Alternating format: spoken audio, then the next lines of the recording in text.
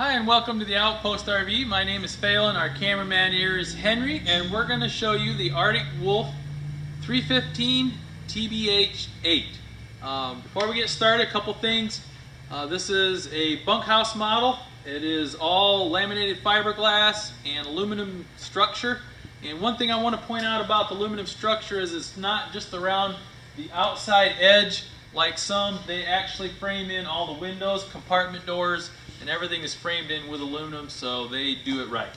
Uh, we're going to start up front today with a pin box. This does come with your MORryde orbital pin box, and what this is, is uh, if you have a short bed truck, you can change your pivot point from up here to back here by removing two bolts uh, underneath in the back here, and then there's a wedge that comes along with it that you wedge in so it'll prevent you from having to purchase the expensive slider uh, fifth wheel hitch. Uh, that's the purpose of that whole thing. Uh, the front cap is a molded fiberglass, gel coat fiberglass cap. It does have your LED integrated light there in the front on each side. And that switch for those lights are down here underneath uh, your cab over here. Uh, and then right above that is your extend retract switch for your landing gear legs. Your landing gear legs do have your quick release uh, pin there, so once it's off the ground, you can pull that pin and slide your foot all the way up so you don't have to wait for it to retract all the way. Front storage here in the front. We have your battery box would be mounted in the front here. You do have a nice uh, metal storage tray here in the front. You have a battery shut-off switch in there as well. You put the unit in storage, you can flip the battery shut off switch so your battery does not drain. Alright, we'll come around here to the passenger side. It is your solar panel port, so if you do any dry camping, um, you can purchase a portable solar panel and plug into this port. It'll maintain your batteries on the front. Uh, LP comes with two 20 pound LP tanks, uh, one on each side. We'll show you the other one later. And there is room in here to upgrade to the 30 pound if you would like. The reason they stick with 20 pound is because that's, if you go to a gas station to do an exchange, that's all they have there, so that's more the standard size. Pass-through storage here in the front. Uh, this passes through to the other side. A lot of nice storage there for you. And then um, you'll notice the little decal right here says extreme weather package. So this does have heated and enclosed tanks. Um, so it is ready for cold weather camping. Your awnings, power awning, you have an adjustment on each end so you can adjust the pitch of the awning for the rain to, to run off. And it also has your blue LED light under there. This is a power awning. You have a switch on the inside to operate that, and it is a 20 foot awning, so you have a lot of awning space on the side of this unit. At the entry door, we have your stable step. This is a step that sits on the ground, not one that's suspended from the camper, which makes it very solid. You have an adjustment on each side right here, so you can adjust the legs to the contour of the ground so it sits level. And these are very easy to set up and take down uh, by basically opening your entry door. Uh, you lift them up swing it up and there's a latch on the left hand side right here where you latch it into the frame of the door and then you would close your entry door and flip in your uh, fold assist grab handle right here and you're ready to go. So very easy to set up and take down. The entry door also you'll notice is what they call a friction hinge door. So you'll see it withstands 20 mile an hour winds. We don't have the latches like we've had in the past that you forget to unlatch and you tear it out or they get brittle over time and break for you. So that's a nice upgrade there. Six gallon gas electric DSI water heater. Uh, DSI stands for direct spark ignition and you can heat up to 10 gallons of water with gas or electric and 16 gallons of water with a combination of both. If you look in the lower left hand corner there's an on and off switch that's electric side, and then I'll show you the gas um, switch on the inside when we get there. Aluminum rims with radial tires. Uh, they will come also with a tire monitor stem cap and it has the number 80 on the end cap so you can see what the tire pressure is And if I release this, your tire pressure gets low. You can see that it turns to red. So you can visually see your tire pressure is low and you need to add air. I also removed the center cap here so you can see it is the Easy Lube axle along with your self-adjusting brakes. Outside Entertainment Center does come with blue lit uh, exterior speakers here. You have your TV bracket right in between them. Uh, this is compatible to the one on the inside, so if you'd like to take the TV from the inside, you can slide it in out here. You have your connections down below. Have your outside shower uh, with your hot and cold. You also have your black tank flush, so once you drain your black tank, you can uh, connect a water hose to this. There is a spray port on the back side of the tank that rinses that out for you. Um, you'll also, we'll get to this uh, on the inside. The control panel's on the inside, but this does have your one-touch leveling. And basically, uh, when you unhook from your truck, uh, you hit your one-touch leveling.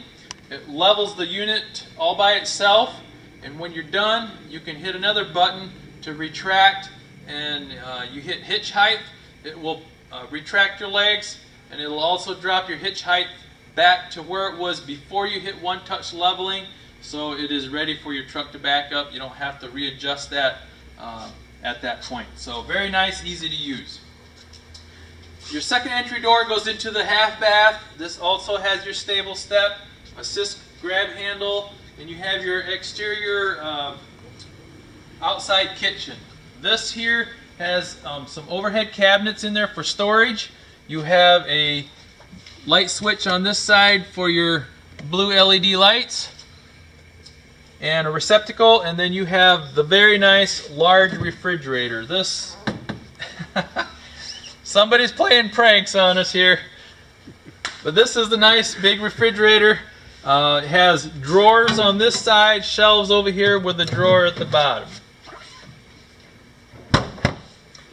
Uh, also, we have our LP Quick Connect down underneath here. So if you have an outdoor grill and would like to tap into the LP bottles on the front, you can do that through that Quick Connect port.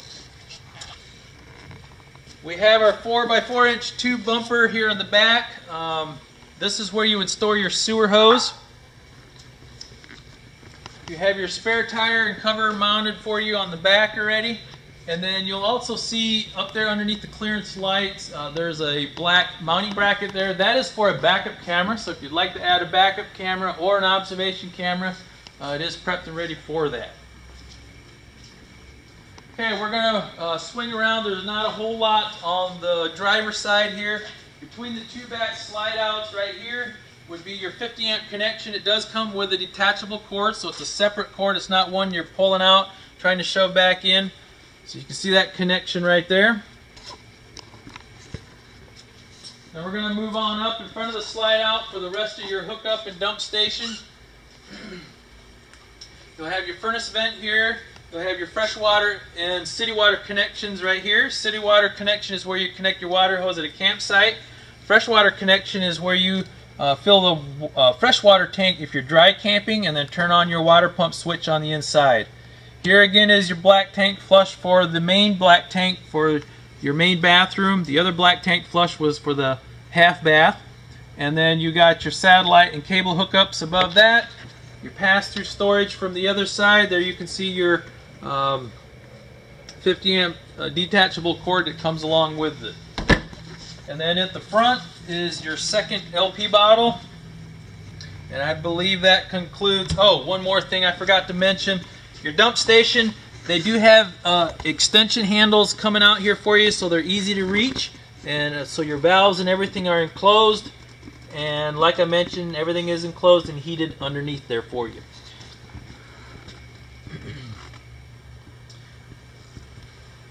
Alright, I believe that concludes the outside of the 315 TBH. And now we'll move to the inside. Moving to the inside, you have your steps going up into the bedroom bathroom area. Entertainment center uh, straight in.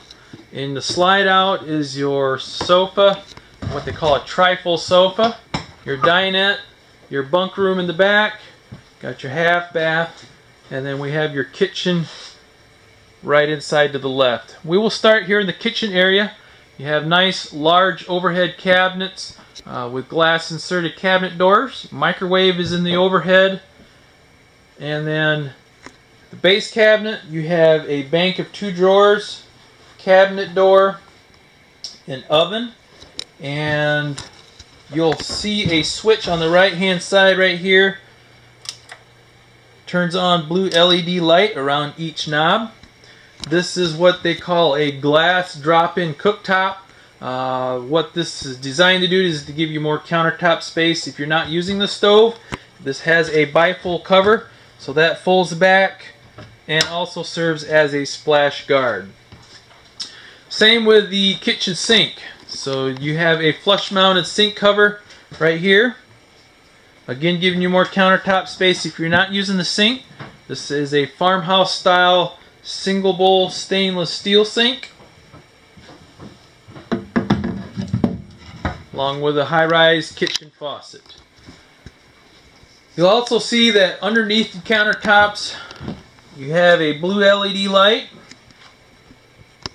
And swinging on over to the refrigerator, we have the residential refrigerator. I believe this is 11 cubic foot, so it's larger than the refrigerators we've had in the past. Uh, very nice, large, lots of storage in there. So refrigerator's at the top and your freezer is at the bottom. And this would be 110 and 12 volts. So you do have an inverter. If you have power outage, you can kick it over to your 12 volt power, which inverts it to 110. Half bath. In here, you have a toilet and a lavatory along with a mirror on the wall and you also have the Creative Breeze fan in the ceiling which is operated by a control right here.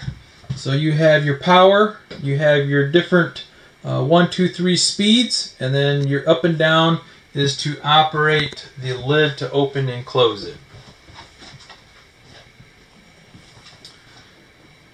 Moving back to the bunk area we have a jackknife sofa in the slide out with a fold down cup holder. We have a bank of three drawers down below and the jackknife sofa is designed to flip down into a sleeping area and then above that you have a bunk that also folds down uh, so you have a bunk over sofa.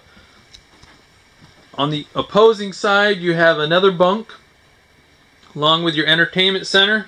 Lots of storage, shelves, all the way around and then in the center would be where you can um, mount a TV and you have the connections up above that opening. Uh, one thing I do want to point out, you'll notice uh, was really nice are the lighted uh, wall switches so you don't fumble around in the dark trying to find the switches. They are lit so they're easy to find. Moving back out into the living area, we'll cover the dinette. Uh, here Again, if you look at the pictures on our website, you'll notice that the table and legs are removable. You can put that down, slide the cushions together, giving you more sleeping room if, if needed. And you'll have a 40 inch drawer underneath each dinette seat. You'll also see USB ports uh, scattered throughout. You'll see one right there on the wall between the dinette and the sofa. See the entertainment center up by the bed on each side. And then you got your trifold sofa. Again, if you look at the pictures on our website, I have that out so you can see what that looks like, but just giving you more uh, sleeping space if needed. Entertainment center comes with your fireplace. Uh, you can set the different uh, lightings on it from dim to bright and then also different levels of heat. I believe that's a 5000 BTU um, fireplace. Above that is your stereo. This is AM, FM, also DVD, Bluetooth, uh, has a USB port. Above that is where you would mount your TV. You have your connections there. And then nice large overhead cabinets, again with your glass inserted doors. Okay, we're going to move up into the bath bed area. Got hardwood steps going up here. Uh, right here in this hallway is where your monitor panel is. So this is where you check your black, gray, and freshwater levels um, your interior exterior light switches, your awning, and slide out switches. So this is basically your control panel. Right here is your switch for your inverter. And then you have a touch screen thermostat to operate your furnace and your air conditioner. And then up here would be your control panel for your self-leveling jacks. Moving on up into the hallway to the bathroom area. We have the wardrobe slide that extends into the bathroom bedroom. We have a medicine cabinet that actually opens, has storage on the inside. We have your vanity right here. We're going to step inside, close the door, swing you around. We have your toilet, which gives you your nice leg room that you're looking for. Stand-up corner shower. And this does have your skylight above it, along with a never, another Creator Breeze fan above the toilet in the main bathroom. Swinging on over to the wardrobe slide, you have a linen closet in the first one, a bank of four drawers, and a wardrobe at the other end. We have your bedroom area, so queen bed, and this is also on a bed lift, so you see above the headboard there is an extend retract switch so you can recline the bed. If you want to sit up to read, watch TV, um, you have that capability. On each side you have a little nightstand, USB port and receptacle. You also have a pendulum light on each side uh, so you can turn off the main light if you'd like and use these for reading lights or night lights. They are blue, white, or you can turn them off. At the foot of the bed uh, is also your second thermostat for the second air conditioner. It's also touchscreen. You have your slide out switch for the wardrobe slide. Your TV bracket if you want to mount the TV in the bedroom area. You have your connections up above that. And I believe that concludes the inside of the 315 TBH. I'll do one more brief walkthrough for you.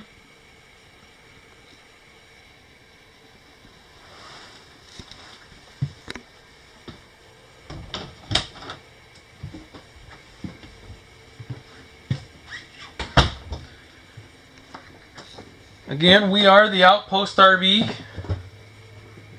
You can contact myself or Henry at 866 338 9845.